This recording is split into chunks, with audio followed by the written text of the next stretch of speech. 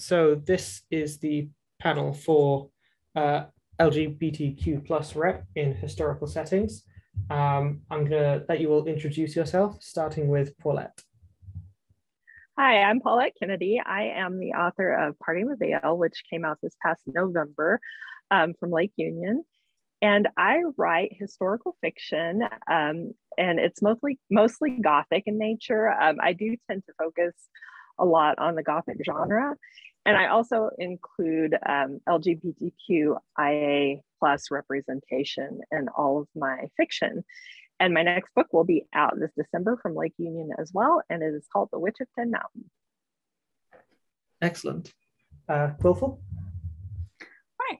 Hi, I am Quillful, as you said, and I'm actually a Patreon writer. So the way that I release my works is on a quarterly basis currently, and the more patrons I get, the more often I release work. Uh, this one is actually a futuristic piece, but I do a lot of work with the uh, history for fantasy works, and I also include LGBTQ rep in all of my works. So it's it's always fun, and I encourage more more patrons to engage. And I have my works free for the people who aren't in a place where they can support my work because I just love to share stories and have that community. Excellent, um, Michael. Michael G. Williams. I write uh, science fiction, horror, and urban fantasy, all of which is always around queer themes and has queer protagonists and mostly queer casts. And uh, the week after this conference airs and happens, then the sequel to this book uh, called New Life in Autumn will come out. It's a far future science fiction detective story instead of historical, but it's also kind of a neo noir feel to it. So it's got some of that historical flavor. And then I also have a series that is historical urban uh, urban fantasy set in San Francisco. That's time travel based urban fantasy. Called uh, the first book of which is called Through the Doors of Oblivion, and it's about modern day queer witches summoning the spirit of Emperor Norton into the future in order to help them fight a demon of real estate in the past. Very cool. Awesome. Okay. Um, I usually like to start off with a bit of a, uh, I guess, lighter, easier question, but a lot of the ones we've got today are, I guess, quite dense. Um, so I think to kind of set the tone, um, I'd like to ask openly to everyone who would like to answer uh, how do you include different LGBTQ plus representation in settings or cultures where those groups are generally discriminated against? So, honestly, I would say that the biggest thing when you're talking about different LGBTQ representation in settings in history is the terminology and context because these are the things that are most typically different from our modern eras. And as always with historical fiction, sometimes you'd have to take some creative liberties to kind of help bridge the gap between textbook and fiction in the sense of you're not trying to necessarily recreate it down to the perfect accuracy, but make it so that your modern day readers can understand this historic context without detracting from the immersive experience of a story. So while not every historic fiction novel can point out the fact that gay as a term didn't mean homosexual as an example, it's something that can be incorporated and certainly should be applauded when it is because that's something that it wasn't a term. Uh, typically, the terminology for people who were homosexual in any capacity was usually defined in the context of a crime. So they didn't have the words to describe themselves. And that's something that is a unique experience for those those historic periods and they might have come across other cultures that had terms but not every single one of them did and I think that's where I usually start with when I'm talking about representation and including things in my works that are historically based is I want to understand how they would be received depending on the, the contexts of where they live and what lives they have. I mean, obviously, uh, an actor who's alive in the time of Shakespeare is going to have a very different experience than a noble in Victorian times, like as far as what they can do and how they navigate. And I mean, there's kings throughout history that had male lovers, as an example, but they were kings. So they had a lot more sway and influence and they could do these things. So I think that's really where I start with is like the the full context of what I'm working with and the terminology that I would use. I'll let feel free to go first or go ahead, go second, go, go next. Thanks, Michael. Thank you. So um, first of all, when I'm approaching a story and I know that I'm going to include queer characters in that story, I try to be mindful uh, toward not perpetuating harmful stereotypes, first of all.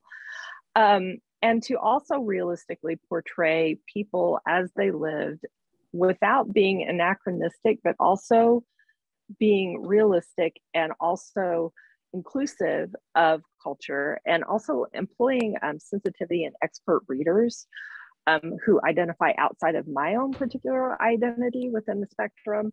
Because i think that a lot of times you know when you do identify within the queer spectrum um, sometimes it gives you a little bit of a pass to write about other identities but at the same time it's like i want to be accurate and want to be mindful of what those identities might experience that would be different than what I experience. And so um, I, I always make sure that I employ uh, sensitivity readers uh, while I'm drafting. And my publisher is really good about that as well. Um, like in Parting the Veil, I had a non binary uh, character, gender fluid character. And so uh, we had a sensitivity reader specifically for that character and so that's really important to me. And also like as in a historical context like Quillful was mentioning you know uh, queer people have existed on a continuum all throughout history. And i think not including them um, while it's certainly all right and you know that's your choice as an author i think including them in a mindful way and in a sensitive way is very um, i think it's a noble thing to do and it's an important thing to do because i think especially in historical fiction and and i'm speaking about all marginalized groups in general historical fiction tends to at least in the past have been incredibly whitewashed and, incredibly not inclusive. And so anything that we can do um, and when we're writing outside of our own experience to employ those sensitivity readers and those expert readers to help inform our writing I think that is really something that we can utilize to bring our fiction to a place where we have that understanding and we're conveying what we want to say without doing harm. I feel like the whitewashing of historical fiction is it's such a cheap ploy to say to a, a, really sizable segment of the potential market for a book hey you were there and nobody else was. You don't need to worry about anybody else. You were there, and we're not going to talk about people who were not like you. And I want my books to talk. Well, I kind of want to do the same thing. I want my books to talk to the queer people who are reading them and say, "We were there too." You know, um, I think that the first task that I have when I write historical fiction is to remind people that despite the discrimination that existed in those culture in those cultures or in that time, we still existed. We existed regardless of what other people thought of us. And we still exist regardless of what other people think of us. But it's also really important to me when I'm doing that, I'm I'll include the sorts of like anxieties and resentments and concerns that those queer characters had or would have had if they were real people in that historical setting. But I do not, or at least I only very selectively will include or depict the discrimination against them that they would experience because active discrimination, actively being marginalized, is not entertainment.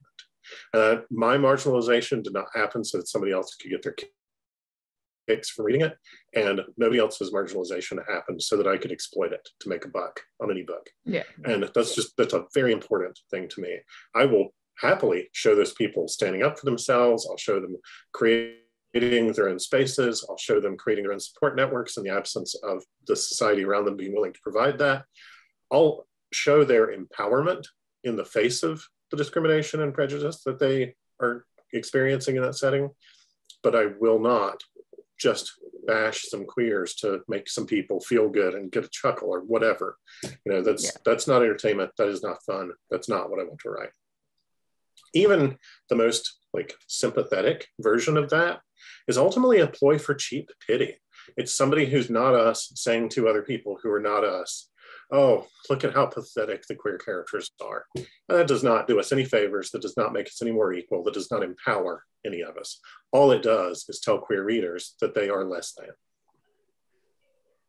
This is one of those things that I hear a lot of discourse about. And I will say that I think in fiction it's it's an escape.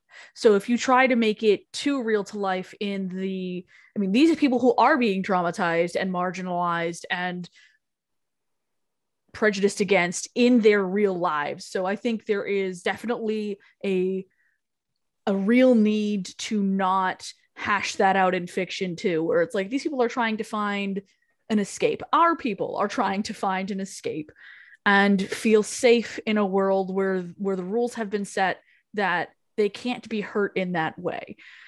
Now I know there are queer writers who use this as catharsis and they have very heavy subjects in their book, but I also know that these creators have always been very conscious of trigger warnings tags so that the only people that these things are reaching are the other people who will find it cathartic to say, I am seen, my pain is heard, my pain is validated.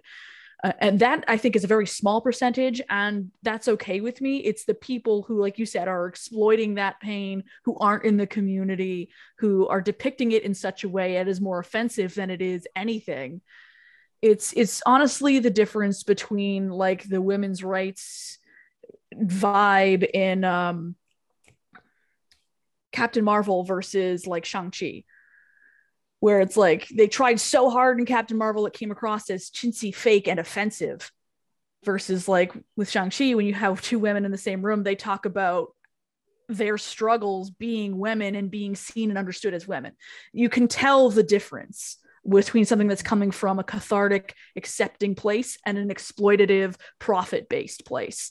And unfortunately, I think that's the majority when it is included. So I would think it, I'm long form agreeing with you.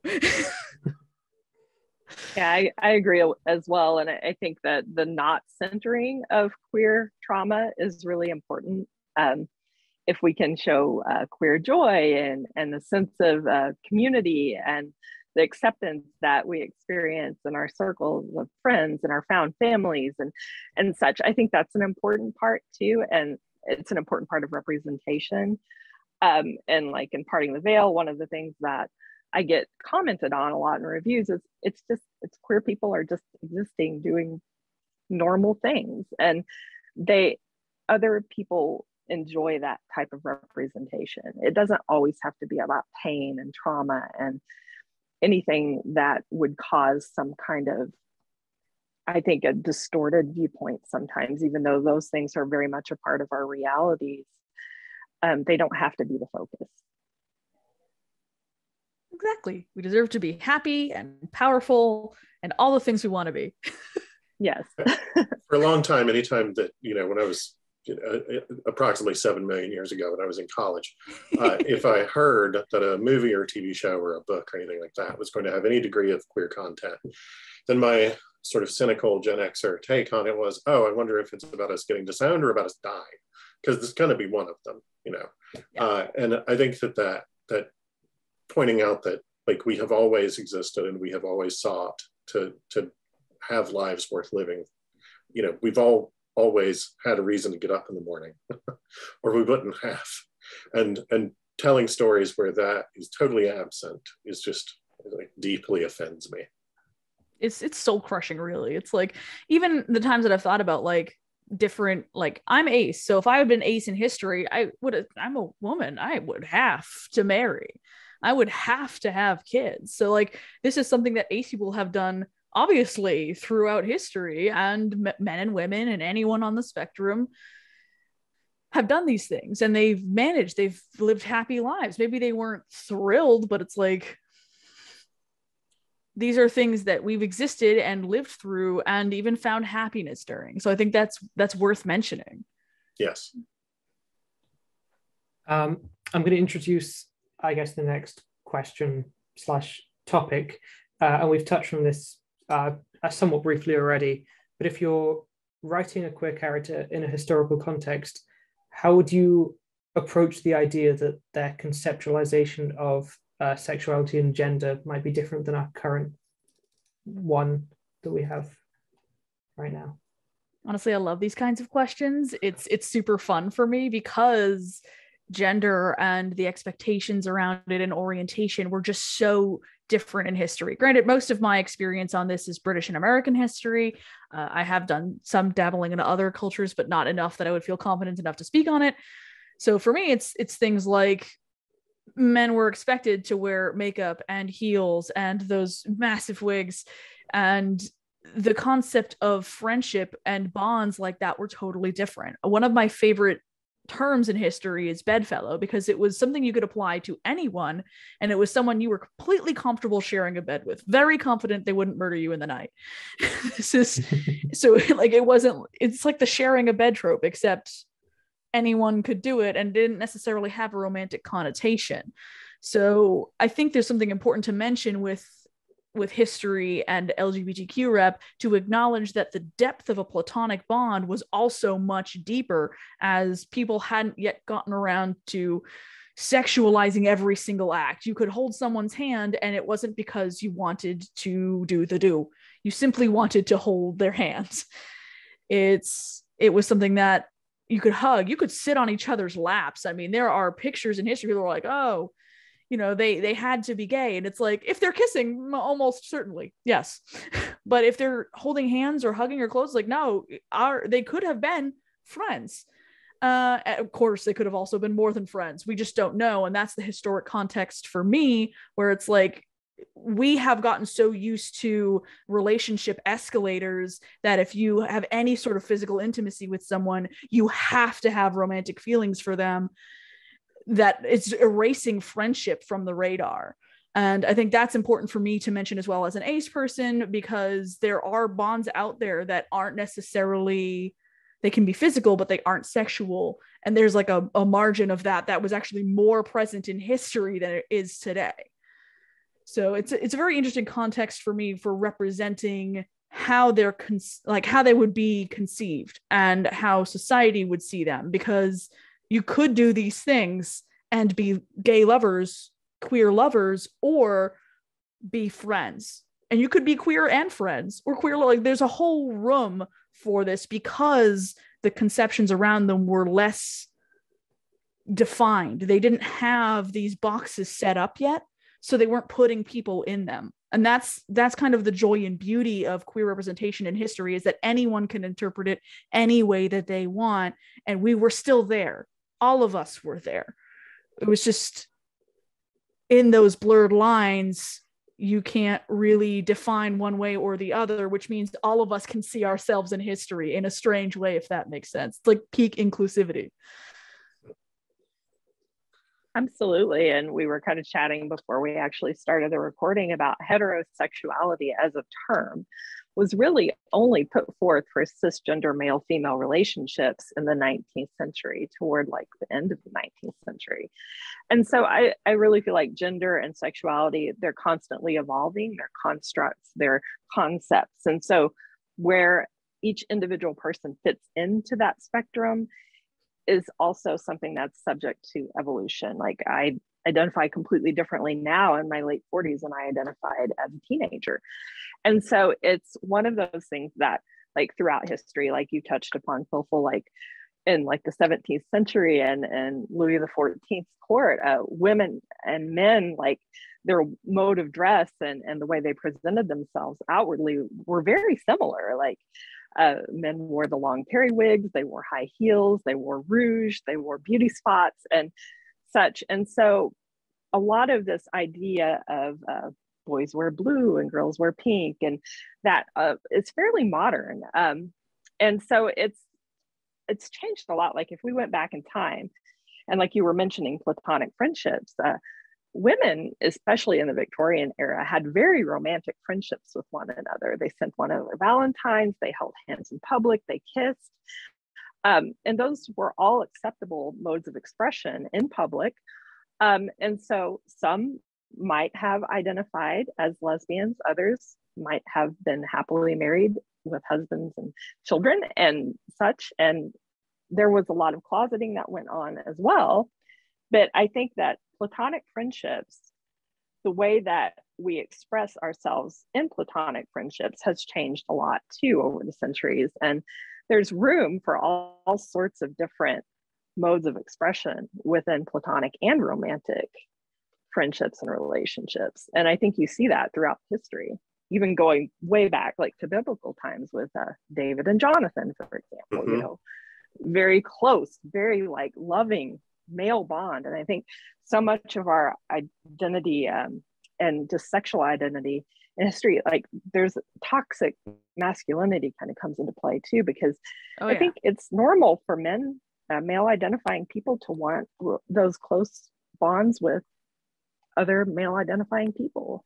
And why shouldn't they? But, exactly. Yeah. And it doesn't always have to be romantic. And so it's just, there, there are just so many different modes within the spectrum. And it's very fluid, you know? Yeah. It's beautiful yeah. seeing all that expression. It is. I, I think that people who read historical fiction, people who seek out historical fiction, they are sort of asking, they're implicitly extending an invitation to say, show me how the world was different and show me how the world was the same. And so they're looking for a wedge to get driven by the story between their reality and the reality of the world so that they can sort of step out of their preconceived notions, their own assumptions that they, like any of us, have, have come to the story with from the world in which we live. And they're saying, I want to have these differences pointed out. I want to find out what are my preconceived notions. I didn't even realize are just t- completely arbitrary. And, it, and they kind of want to get there by having the totally arbitrary preconceived notions of the historical setting pointed out to them. And so I think that it's totally okay to just sort of like, you don't have to totally go into like as you know, I am your uncle levels of exposition, but like to have the characters talk to each other about these preconceptions, to have those preconceived notions, have the characters come up against these preconceived notions so that the reader has the opportunity to sort of vicariously bounce off of them also. I think that that readers of historical fiction, and particularly readers of historical fiction that features queer queer characters, queer stories, queer themes, queer experiences, they want to get a little shaken out of the world that they are like the rest of us sort of trapped in daily and uh, and get to like learn about a historical setting and by virtue of that learn about their own contemporary lives it goes a long way toward establishing empathy too yes. you know and that's so important empathy and showcasing the spectrum. There's just so much so much to explore there that I think you're absolutely right, Michael, is just challenging the things that are from our time and our preconceived notions in our cultures. It's mm-hmm. all while getting a story too. I mean, what what can we say?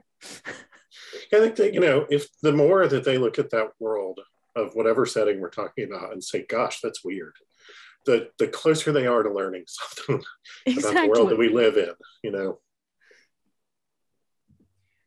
um, i'm going to ask a question and i feel like i know what some of the responses this going to uh, to this is going to be uh, given the conversation we had in the lobby before we began um, are there any instances of our perception of lgbtq people in history being treated differently than they were I are you looking this, for like specific instances, or are you just saying generally?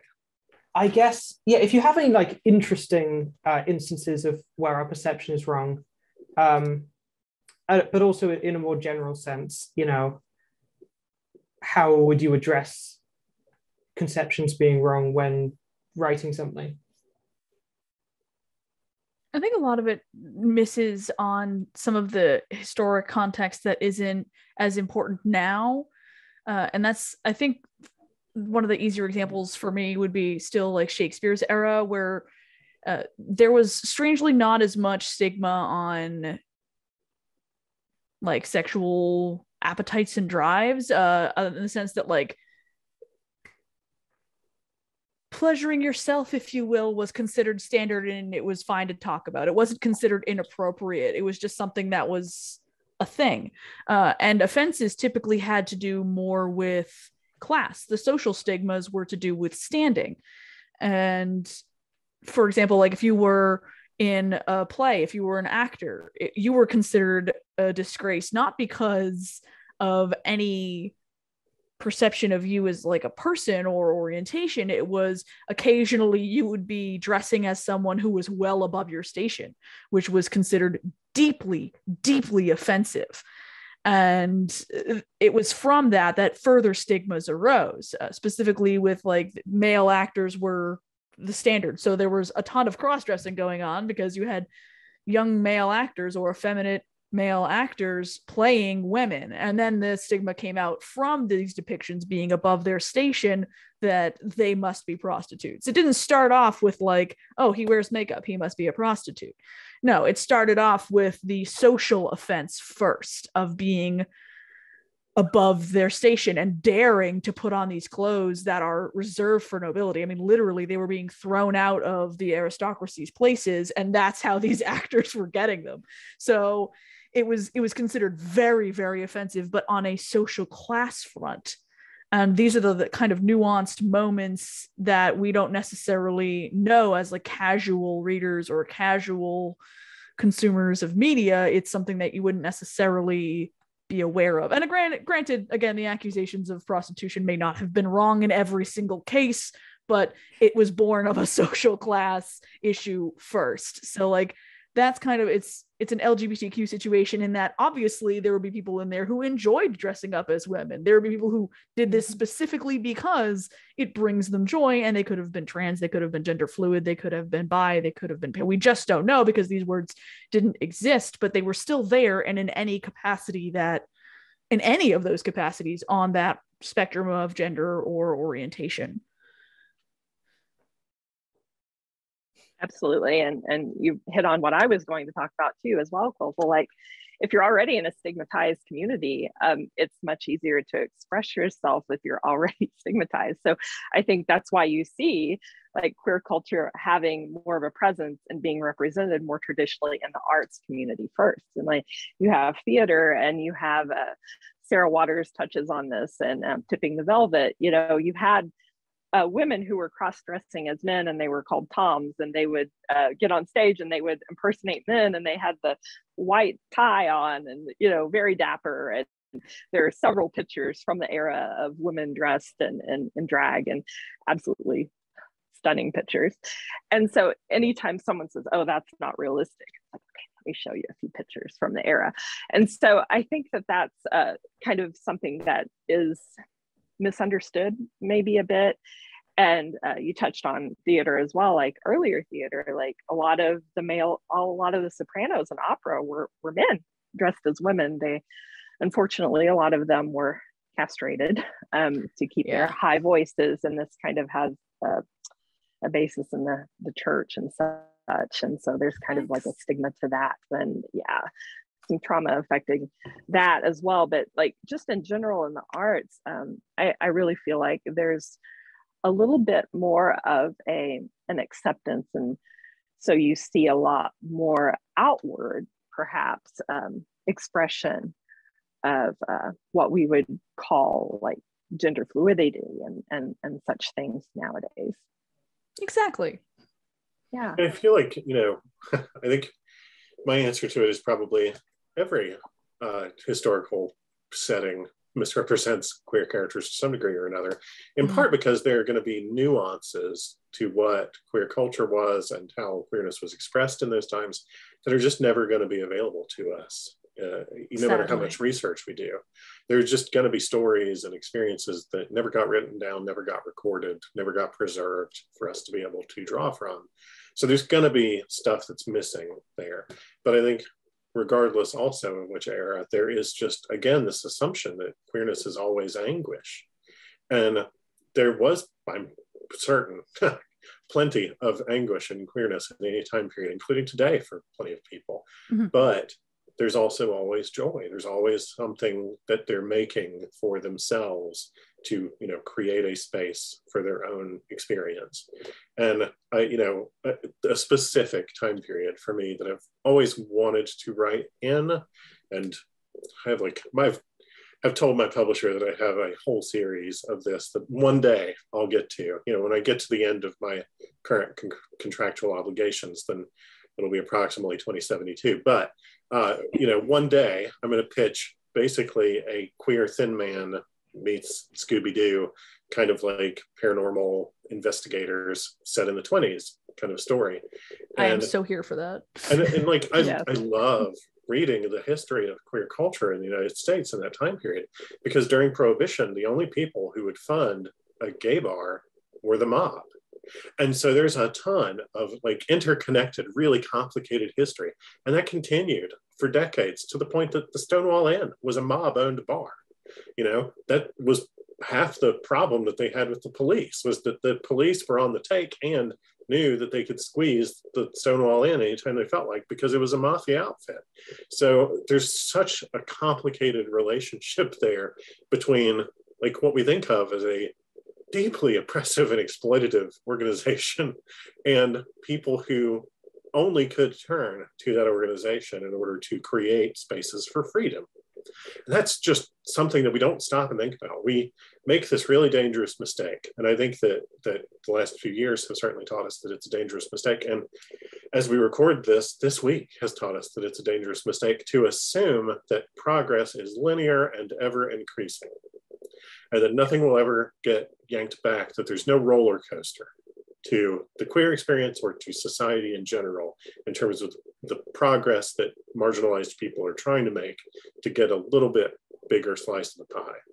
And I think that you know we we just assume that if things for identity acts are good now or better now, then they must have been uniformly worse the farther back we go. And we've got a real challenge that we have to rise to as storytellers to like find the ways in which those time periods were actually in some ways better for some of our people and in some ways much worse and in some ways just totally different in ways that we can't conceive of would never occur to us. And i just think that's such an important part of getting it right. There's a way in which the queer experience now is totally different depending on who you know like what person we are speaking of regardless of of where they are in the queer communities.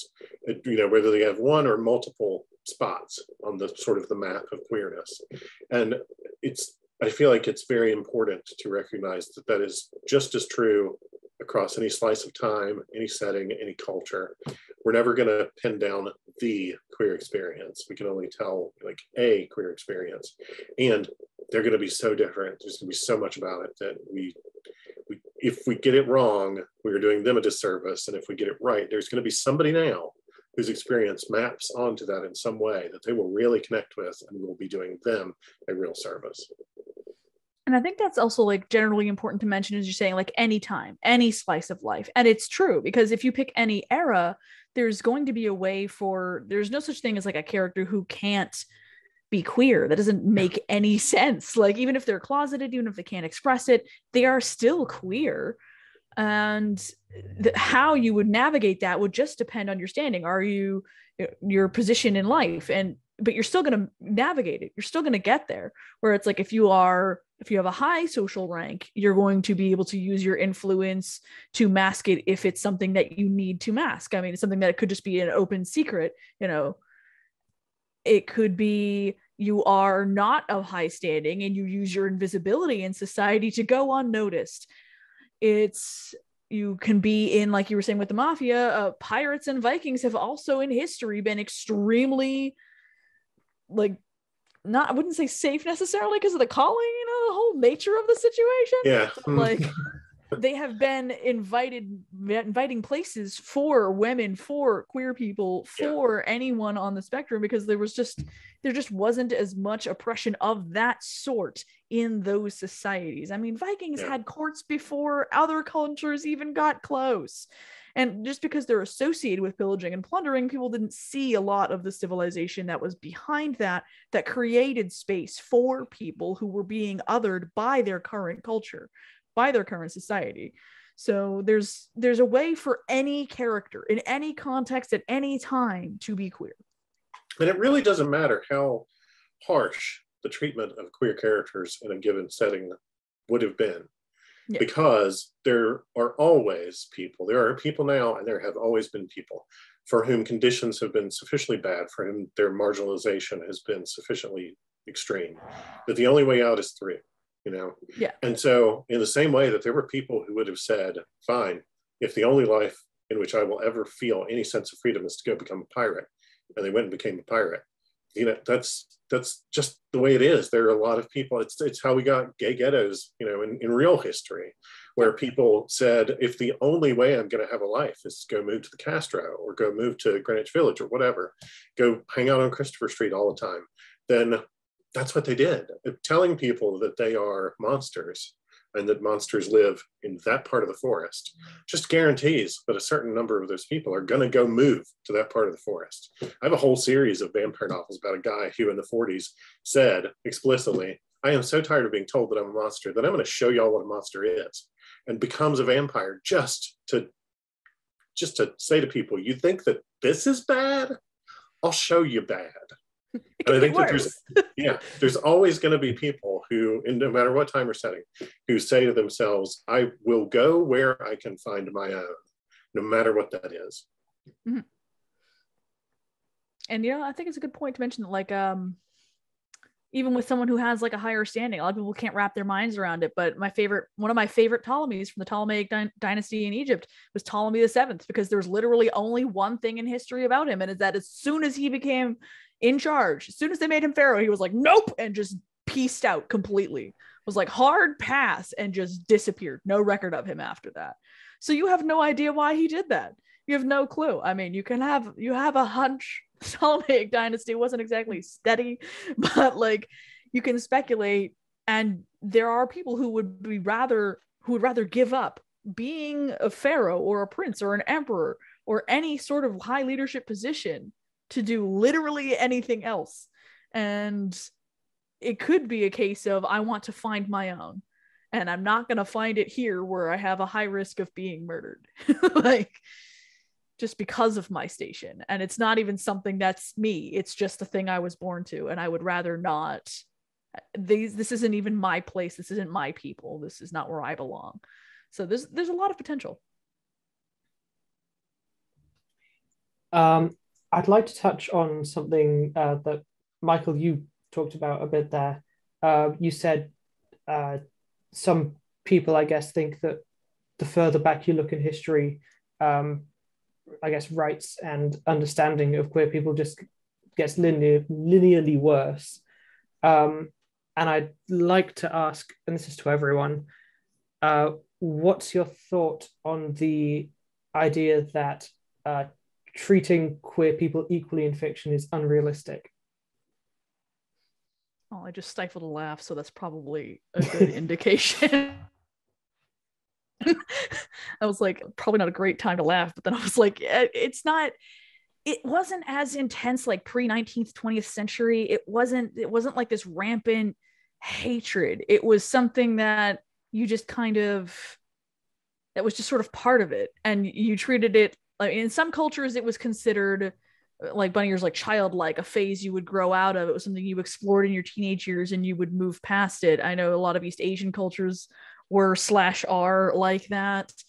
And there have been many other cultural mov- movements like that but it wasn't considered like a a violent offense. It wasn't something that would evoke rage in people or hatred. It was just something like oh you never you never outgrew this thing. And it so in some contexts yes but it's not like they were treated unequally in that sense in all cases in all time periods. It, it wasn't linearly worse in in that sense of like it was considered part of your life. It would be unusual almost if you hadn't at some point. So it was like almost an expectation in that sense. So was was it equal treatment? I mean, I mean, no, obviously not. Like you didn't have marital rights. You know, it would be kind of weird in that context for like most cultures that I know of.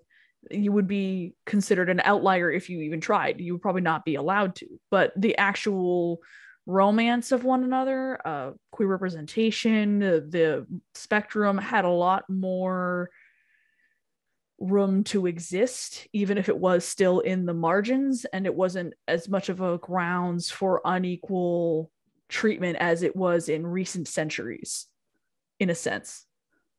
If if that if that makes sense. I think a lot of it too has uh, has to do with media. You know, the prevalence of media and news and, and hearing more about these stories. And I think Michael and I are probably around the same age. I'm a Gen Xer as well. And you know, we were the generation that saw Matthew Shepard. We were the generation that saw a lot of things happen to queer people. Um, and so showing things equally, like a lot of us did a lot of masking you know, in our younger years and such for safety reasons. And I, I don't want to emphasize the trauma and the anguish, definitely not. But I think when it comes to portraying um, people in the culture equally, I think that there are some misconceptions like the modern era versus like earlier times. I think that because of the prevalence of media, we hear more about certain things. And so it doesn't mean that they were less prevalent back in the older days and that there was equal rep there wasn't equal representation. I just don't think it was necessarily as talked about um, in certain eras. And so um, with a lot of like Victorian, which is the era that I've done the most study on, um, there were more quiet type relationships and, especially among women and and men as well especially like you know in the uk it was it was illegal. Like it was highly illegal. Like you could be killed for uh, being homosexual if you were a man you know in the victorian era. And so there are a lot of incidents where things perhaps look a little bit skewed and that was just because of the level of safety and the level of um, just what society considered permissible to express. Excellent points, honestly, because the time period does really define it. Yeah, I think that, like, especially if what you're writing is going to be considered historical fiction, then then it is just by necessity.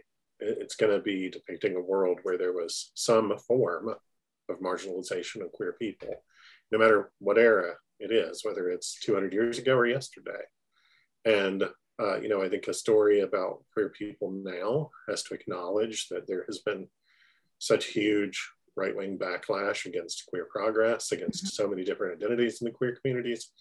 And, uh, and it has to acknowledge sort of like generational trauma of people who we are very similar ages, I think, and uh, people who came out queer during the 80s and watched, you know, their friends worry deeply, at best, worry deeply about their long-term prospects. And uh, I, I don't know, it's, it's, I think you have to be realistic about the setting in order for people to buy into it as historical fiction.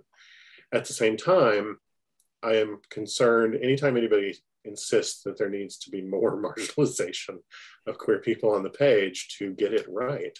I think they're telling me something about themselves. You know, if they're the person who is outside of the queer community and is insisting on that, it, again, it really depends on who's making the point and who's telling the story.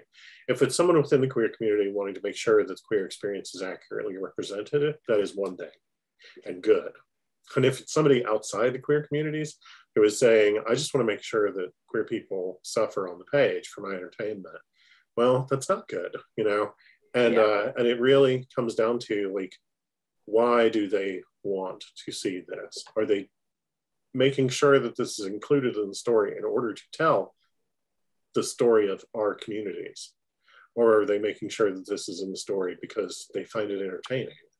You know, and I think that there are a lot of people who think of themselves as good allies from outside um, by insisting on that sort of like realism. But I don't know that I would trust myself to accurately depict somebody else's an experience that somebody else has had that is in no way familiar to me, and uh, especially of discrimination and marginalization. And so I'm not sure that I trust those people either to sort of like set boundaries around our stories. I think another important part of it is these are made up stories. To some degree, we get to tell what we want. So, I mean. You know, there's a point at which we have to start explicitly acknowledging it as fantasy rather than as historical fiction. But you know, there is historical fantasy also, and uh, and I think that my personal preference is always to like, much like you said, Paulette, like look for the ways that there are boundaries around what these people can get away with in their life, and like look for the ways that they create those quiet joys for themselves, so that we don't get caught up in assuming that it was always bad.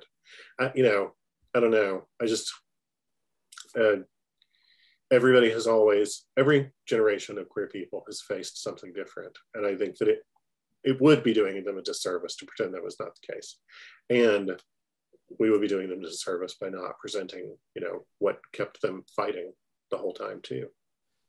And I I do like that it's the mention here that inequality was different with every time period, with every generation, because in Victorian eras, you had to be quiet. But uh, looping back again to the Shakespearean era, because I don't have a problem.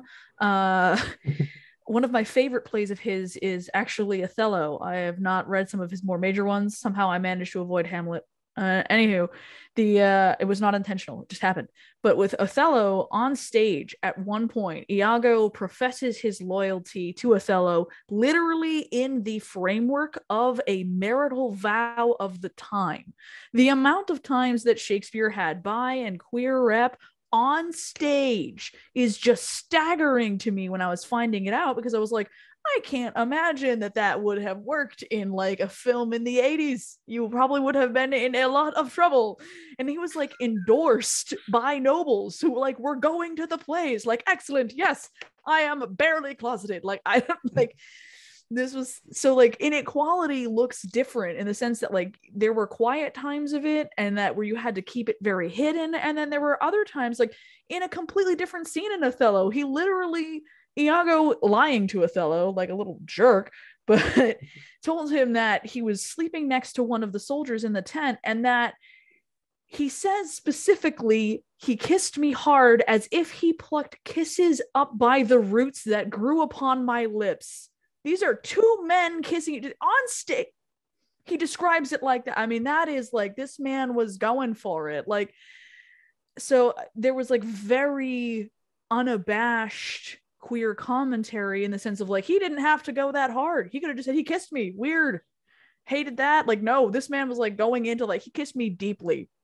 like there was a poetic imagery to it. So it's the inequality looked different in different time periods. So while it was always present, I don't think it was something that was necessarily as criminalized and center stage in every single era. And I think that's kind of where it got me to laugh in the beginning, where it was like, is it unrealistic? And I'm like, not exactly, because you have these characters on stage doing this play over and over and over and over again, talking with marital vows practically between two men and these these poetic depictions. And this is just Othello. This happens in a bunch of his plays, and it happens with other creators as well.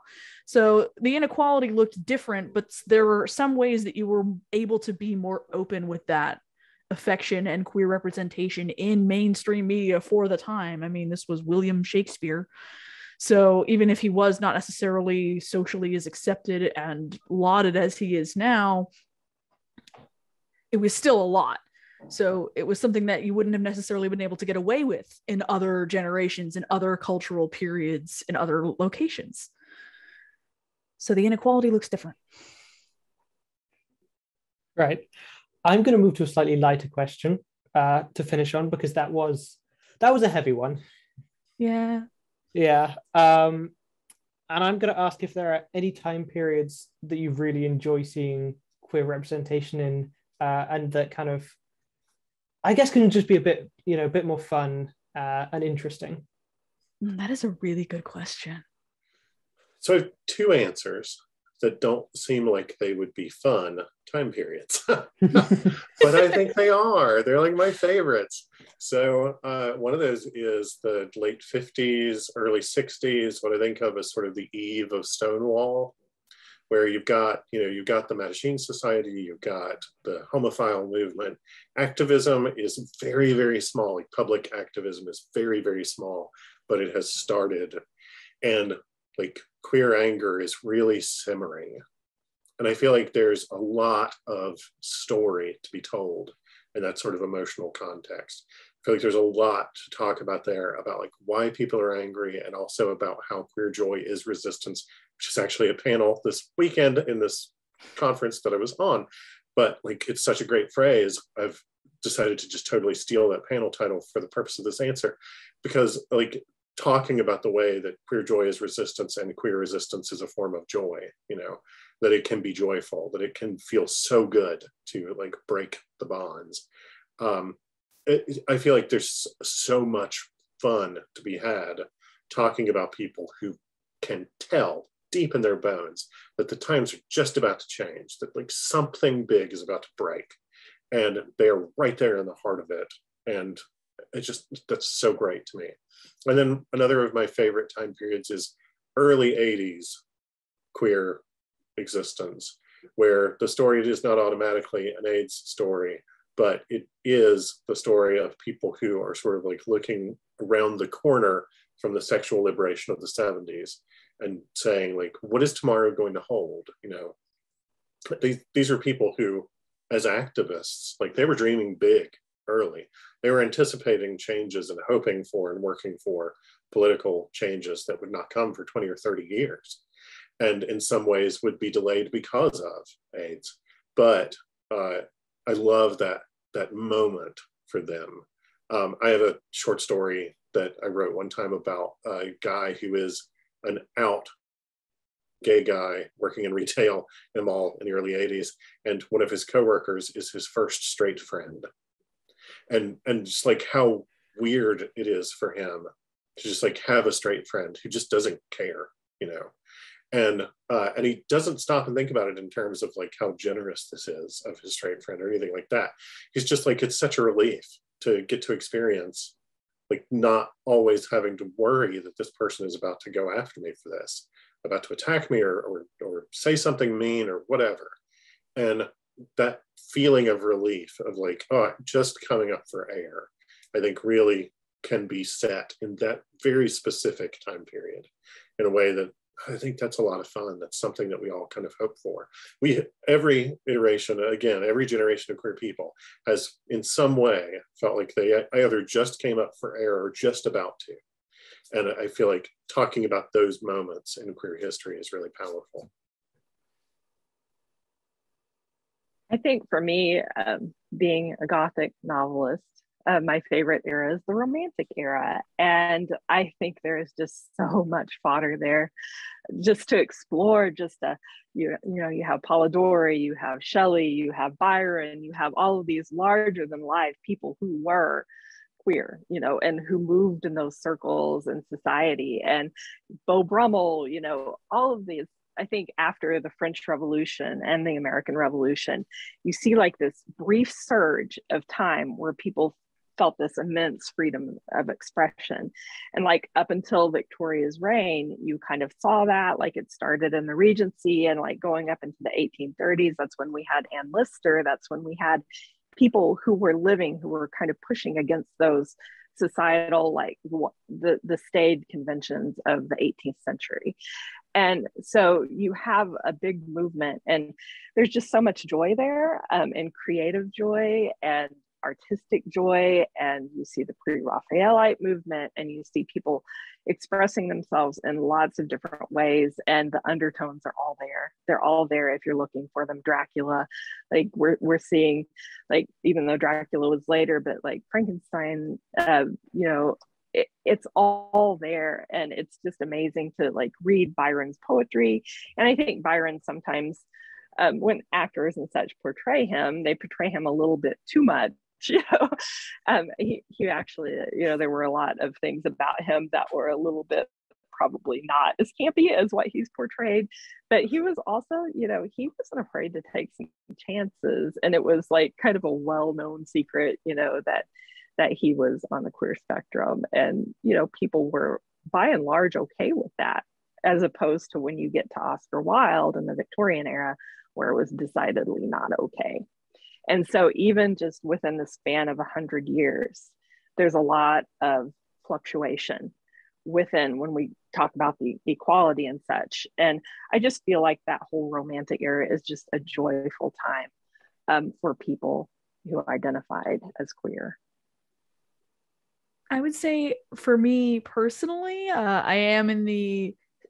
I know it's kind of hard to describe it. Uh, I am in the like Victorian England, you know, bleaker times group in the sense that I love a bright light in the dark almost. Like I go to these darker spots because I admire the strength and resolve it took for these people to get through these times so much. And it's like that's what really draws me to it. It's like there's all sorts of these joyous times and bright times. And as much as I love Shakespeare's era for being able to do things like that, and other eras like the Romantic period, where you got to see this openness, this presence, I just am always drawn moth to the flame to these moments where it was hard and the chips were down and people were actively seeking to do harm to the queer community and anyone in it.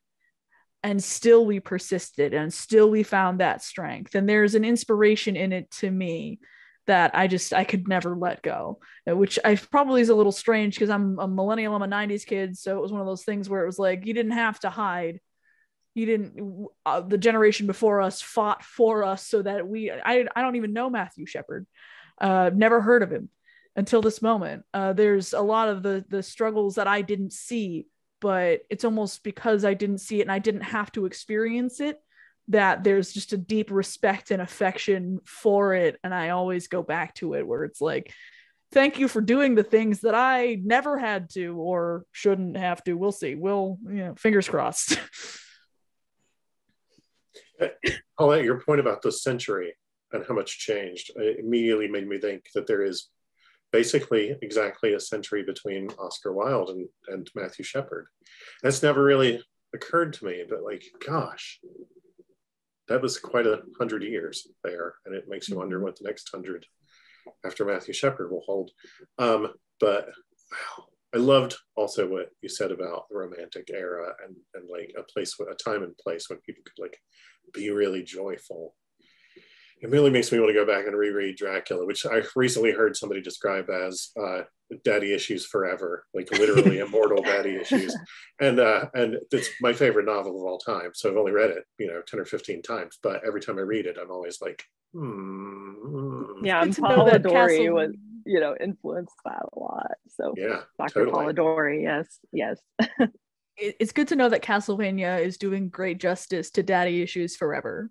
Yeah. Very true.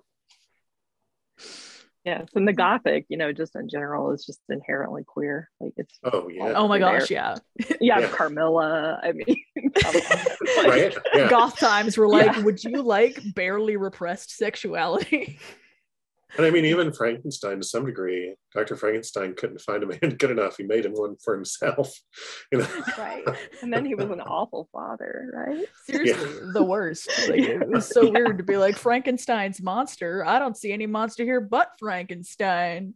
exactly one of my friends has an excellent book um, told from the perspective of the the women in Victor Frankenstein's life that's coming out this fall, and I'm super excited for it. Oh, you should really send good. me that Ooh. link later for yeah, reasons. That sounds yeah.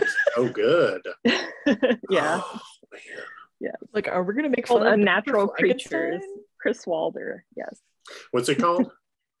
Unnatural Creatures. It's by Chris Wilder. It's even a genius title. Like, right. I want that book so bad. I want to read It's so okay. good. I've read it early. It's excellent. Mm. yeah. It sounds so good. Right. I'm, I'm here for it. Uh, I'd like to thank you all for being here. Um, I'm going to give you an opportunity to talk about your current projects uh, before we leave off for the evening. Um, I'll go ahead and go first, I guess. yeah, that, that works. Okay? That works. Yeah, that's cool. Yeah. Um, um, well, I my next project is uh, the Witch of Tin Mountain, and I have another project that I'm working on right now, but I can't really talk about it too much because it hasn't sold yet. So we're kind of in that that space. Um, but this novel, The Witch of Tin Mountain, is based in the Ozarks, and it, it's very um, much kind of about the culture of the Ozarks and how this family of hereditary witches fits into this culture. And there's lots of sapphic vibes, and it's really um, kind of an exploration of that. So that's kind of the next thing I have coming down the pipeline. My next book, which again is this is the weekend of uh, WriteHive. Um, then my next book, my my next book comes out like Tuesday or something. It comes out the 14th of June, and it's a sequel to A Fallen Autumn. It's a far future science fiction detective neo noir kind of thing. It is exceptionally queer. Uh, it's queer enough that that bothered some people in the first one, which just makes me feel like I've done it right. Oh, and so uh, my current work, exactly, my two current works in progress as of this moment are the fourth book in my Emperor Norton time travel queer urban fantasy series set in San Francisco, which will be called uh, The Last Scene of a Strange Career. And then uh, the first book in that series is called Through the Doors of Oblivion. And I'm also at the moment working on a, an, an Appalachian set ghost story slash cosmic horror novel about generational trauma and what having really messed up families does to one person. And what it's like to inherit the old farmstead when it's just haunted as hell. And uh, and that is called Our Contemporary Ancestors.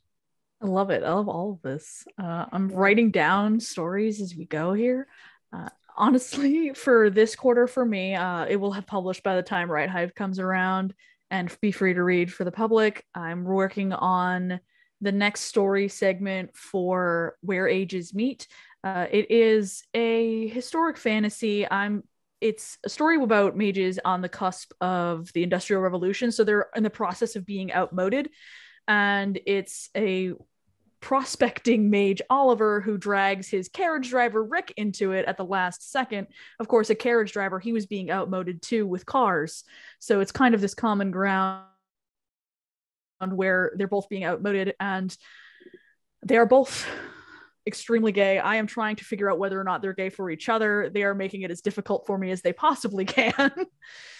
but honestly, uh, one of the one of my more favorite stories. Uh, it does have some small followings, so honestly, I'm just happy my patrons and my readers on Twitter voted for it. So I'm super excited to to release that. I may or may not have written like four chapters when I was intending to write one. It's no one's business. Um, so that's that's where I'm at.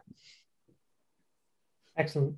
Um, again, thank you all for being here. Uh, I think this is definitely um, an interesting panel. A lot of uh, important points of discussion that we've had here. Um, yeah, uh, thank you all, and good evening.